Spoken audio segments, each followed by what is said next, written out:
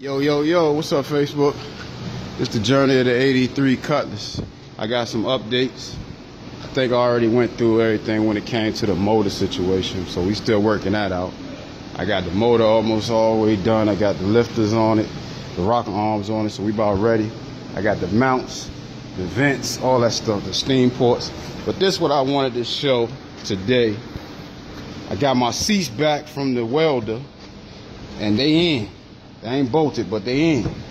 So I swapped it from the bench seat to the buckets with the center console in it. So this what we looking like, y'all. But only imagine this Joker with the Cadillac 2020 Escalade pattern on the seats. This what we going with. The seats came out of a convertible Mustang, the center console out of a convertible Mustang. So that's the concept that we're going with. The driver's side seat is power. Uh, the passenger seat got some power to it also. Uh, but these are the seats. They move back and forth like they're supposed to. The, like I said, the driver's side is full power.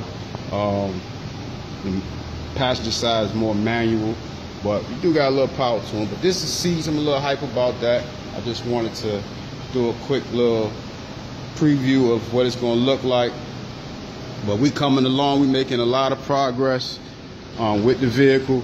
She gonna be running in a couple weeks, y'all. Motor in, tranny in, rear end, rear end in, everything in. But I got these seats and things in now, so I'm real excited about that. Um, this is a happy, happy day for me, you know, because we got this stuff done. But everything is in. We coming along. This is how the seats gonna sit up in here. Um, but it's coming along. I'm feeling good. Everything will be reupholstered. The back seat bench gonna be the same bench that you would see in a 2020 Escalade. Um, so it's coming along. Everything's looking good. Bear with me. It's working out. Soon y'all see her riding and looking real good. But that's the journey of the 83 Cutlass update with the seats installed. So, all right, y'all, gone.